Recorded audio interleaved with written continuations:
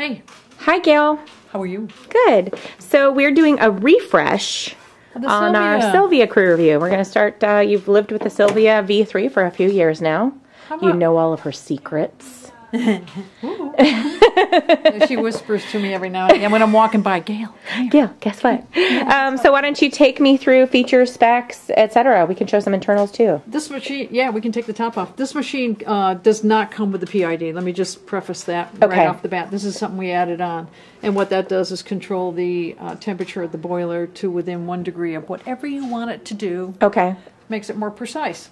This has a single boiler, brass, 12 ounce boiler, that does both functions. And that's why the PID people added on.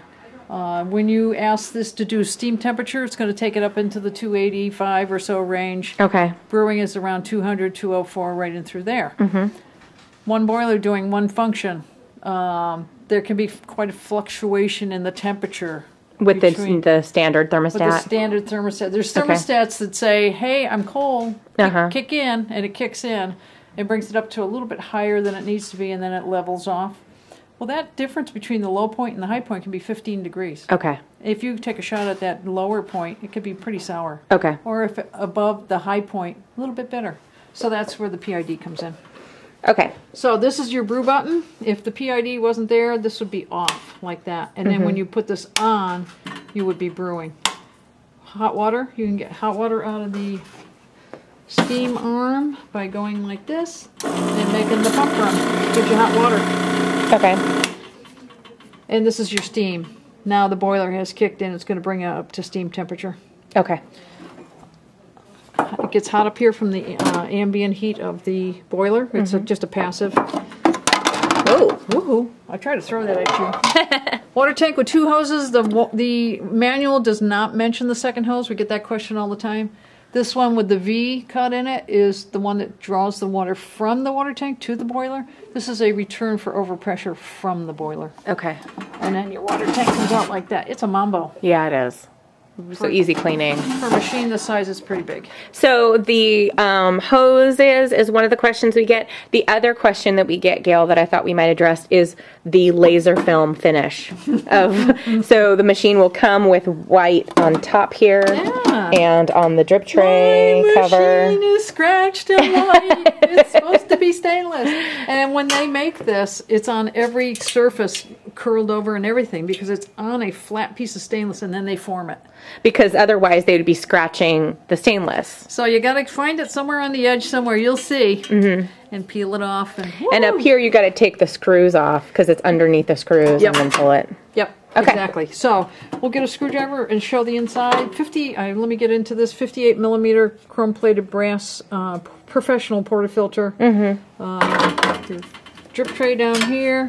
That's the one thing on the Silvia I would say. Um, the drip tray, if it was a little bit bigger, would be nice. You can see it's on the shallow side. I also wish that it was um, more representational of the cover, because if you're not, you might think that all of that, all that is your drip tray. And it's not. No. No. I mean, I don't know how many times I've seen this thing overflowing, you know. And then we've got um, traditional steam arm here. Yep. You can tell it's a traditional because it's got the rubber ding dong on Yeah. it. It's not an anti burn, and it comes with a one hole tip. And this newer version, the V3, this articulates. Around The other one just just to go left and right, Mm-hmm. so it was a little bit harder. And then they put on a new steam knob and they changed the handle here too. Okay, here's your brass boiler. There's your steam valve down in there. As you turn this knob, you can see it, it turns. I just piddled down there. Mm-hmm. Nice, See? Gail. Yeah, nice. and so this is the big boiler. Now all Um, yeah. these wires here though are not stock. These right? wires here, these little skinny ones, these are PID controls, so they go up and through here. The typical would come with these two thermostats. That one there, you Mm-hmm. can see it's not even hooked in. Okay. That one there, and then the one on the front. So you bypass those, and you do it in a different way when you got a PID. And then um, Copper tubing. that's coming from the. Oh yeah, that's coming from the water reservoir Let me look there, here. or no? Let me look. No, that's Where's keep- that? that's coming off the top of the boiler where your steam comes oh, from. it connects to the steam. Yep, your So my- water reservoir is coming in right here. So it's sucking water up through that hose, and then it's coming in. Yes. Okay. Oh, over there. I see. the see the black thing wiggling? That's attached to this hose right here. Got it. In in out, and then through the brew head is the other out. Okay, and so because uh, single boiler, um, you can't burn steam at the same time. So, but you will burn it up if you don't do it in the proper fashion too. If you're doing a lot of steaming, like right now we have this on steam temperature, it's up at that 280. If we do a lot of steam, you're depleting the water inside this boiler, not the water reservoir, the boiler. Okay. And if you do too much, the heating element inside that boiler becomes uh, exposed to air. Hence, the water is what keeps it cool enough so it doesn't burn itself up. If there's air around it, it's going okay. to burn itself up. And so the reason that um, uh, that can happen on this machine in particular is because it doesn't have an autofill. Does not the pump does not kick in. The, the boiler does not sense I don't have enough water and kick in the pump, putting water back in there. Okay. You have to do it manually by making the pump run. So after you get done steaming, shut this off. Open this up. Cool it down. Calm down. Turn this on and make hot water come out. And then that's going to, to serve two purposes. It will cool it down for your shot after you've steamed, and then it will also refresh the water in the boiler so you've always got a full boiler of water. Exactly. And if you don't do that, you're going to burn it up. And I, I just ran that, and the hose isn't even in the water tank. But if the water tank is there, you know, hot water would come out. nice. Um, the other thing, too, I guess we should talk about is duration. So we have seen people burn out these boilers simply because um, they follow our instructions, but they're trying to steam way too much milk in one go. You cannot do enough for two or three drinks in a go. Okay. Do one drink, you know, maybe you're 10 ounces in, 10 ounces in a 20 ounce frothing pitcher, which I don't have sitting here right now, but make your drink, one drink, go back to brewing, brew another one, make another thing of uh, milk, go back and forth. Don't- Okay. Don't, we had a person that was lining up five drinks. And then steaming a big thing of steaming milk. five things Yeah. of milk, and it's uh, one right after the other, and they're wondering why their machine is burning up. Well, that's why. Okay, so because this is still like what, a 12 ounce 12 boiler? ounce boiler. All right. Cool. So um, I guess we'll reassemble Silvia and make a latte. Some assembly required.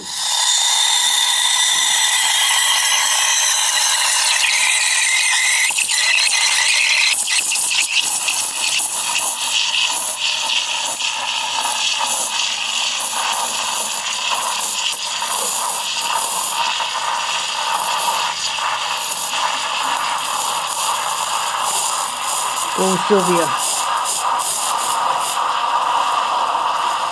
This this machine for the size of it has really good steaming power. Mm-hmm. Real good.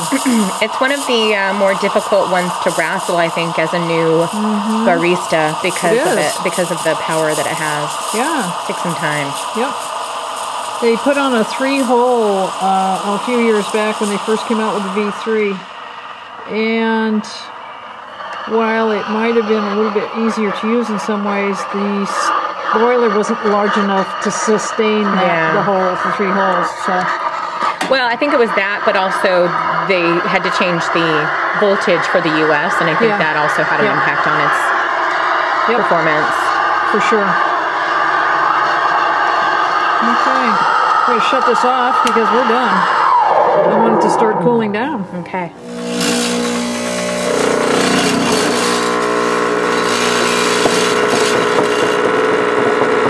Be there.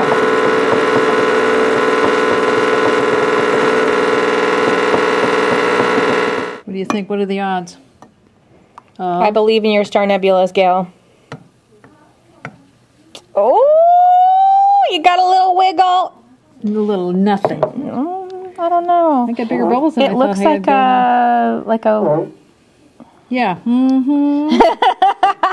There's a little bit of a leaf there, Gail. You, You were on know- the you were on the right track. I think. You know how when they show Old Man Winter out snowflakes? That's what that looks like to me. You gonna taste that? I am. Bad boy. What do you think your handiwork? Nice and hot. It's yeah. good. Good ratio of coffee to uh, milk. Yeah, Cool. it's good. All right, so that is the Rancilio Silvia. It's kind of the um, uh, sort of first step that most people take when they want to get into kind of a traditional uh, espresso machine. A little nicer than your entry level. It's the next step up. It's got a lot of commercial components to it. And I think something I wanted to clarify is a lot of people will say uh, it's picky No, it's no pickier than, than any of the other ones. Then when you get into a non-pressurized portafilter, Yeah. you have to get fussy about the grind of your coffee. and you're going to have to learn how to steam milk pro- like it as a as a as a as a pro because you're not you don't have a Panarello. Yep. So, So- fussy? No, it's no No. different than any other machine of this caliber. Exactly. So I think people give it that rap because they they're maybe coming to it from pressurized portafilters Exactly. and Panarellos. when people go from like this to a heat exchanger, it's really just going uh, More power. more l- lateral. Yeah, so Yeah. they already understand what the deal is. Exactly. This machine, you can get the bottomless portafilter. That happens to be what is in my hand. too. Yeah. So so that's the thing. Don't uh, don't believe the hype. It's not um It's not per- fussier. Yeah, it's not fussier or particularly more picky than any other sort of commercial traditional Cat's, machine. cat's a little pickier. Than. And I'm way fussier. Mm-hmm. Meow. Thanks, Gail. You're welcome.